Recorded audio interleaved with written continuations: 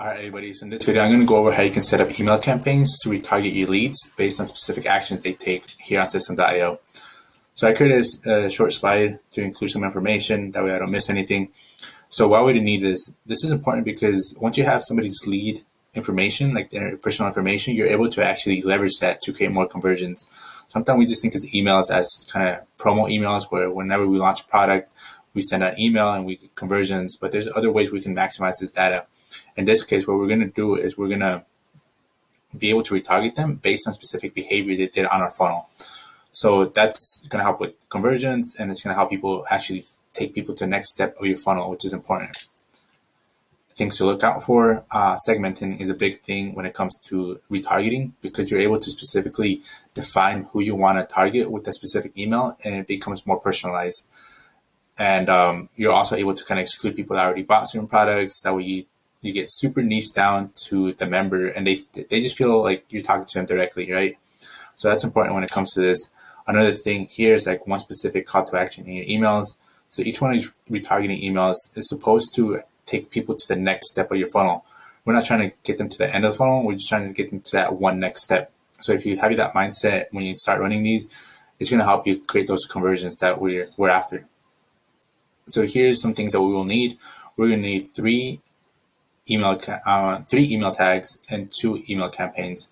So in this case, I'm going to be running this for a tripwire funnel here. As you can see, we have a lead magnet, tripwire page, uh, order form, upsell, and then thank you page. Typical tripwire funnel, common and a lot of niches actually, courses, coaching, e-commerce, all types of different products. So I'm going to show you how you can set this up for one of these funnels here.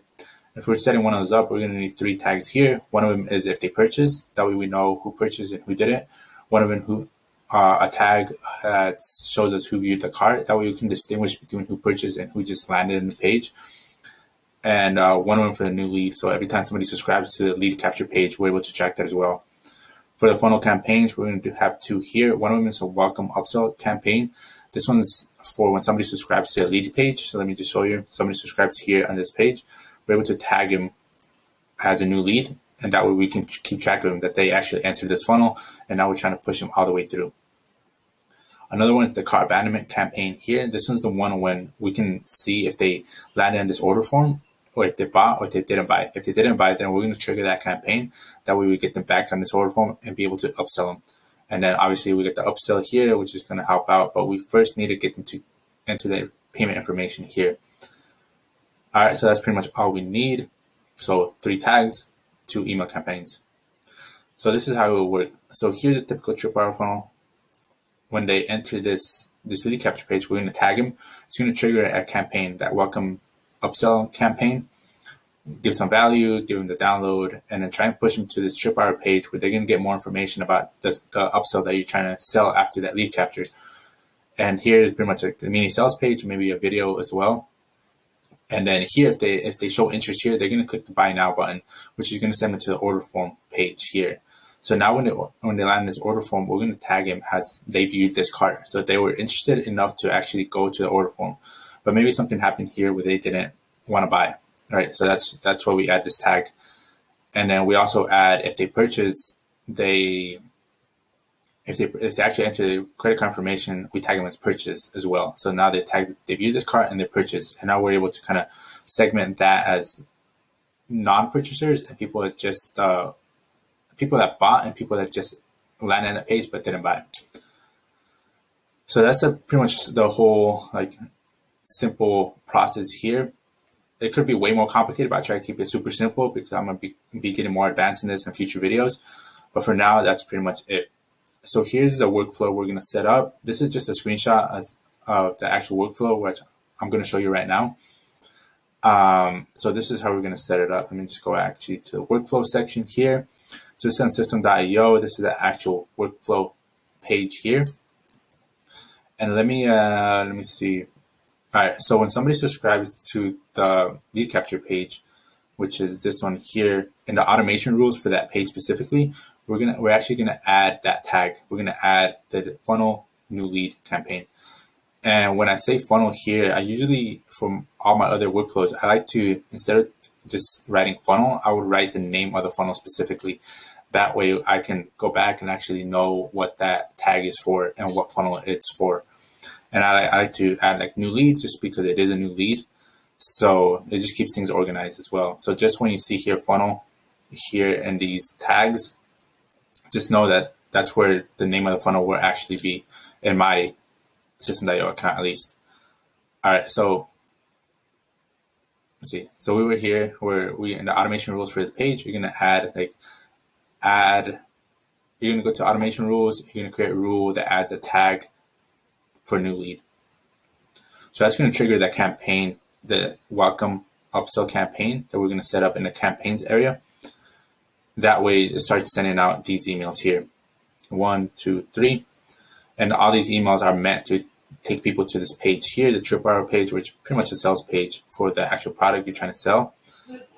And then, um, so that, that should happen immediately, right? They should actually land on this page right after this lead magnet page. So we know they viewed this page when they enter that, that email there. So we're to wait 30 minutes just, just to see if they purchased or not. So after 30 minutes, we're going to check if the person actually purchased here.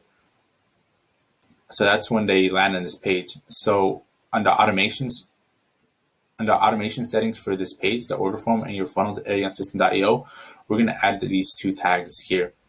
So here in 30 minutes, we're going to check if, if this new lead actually got one of these tags added as well. So if it added funnel purchase and they actually purchase, we're going to unsubscribe them from that welcome campaign just because we we know they purchased and why would they want more emails about buying that product, right?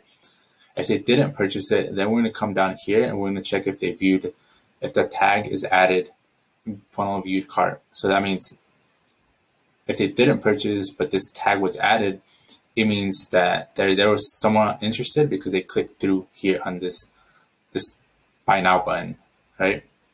So if that's the case, then we're going to subscribe into the funnel cart abandonment campaign, which we created as well.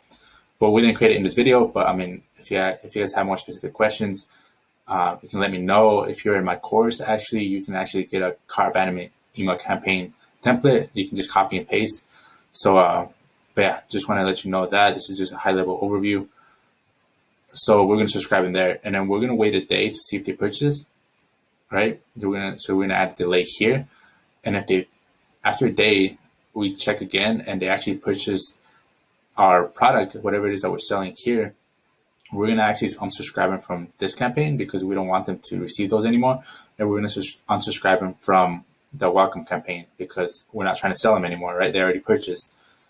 And then if they didn't, if this tag wasn't added uh, the next day, then we're going to go down here and we're going to wait another day.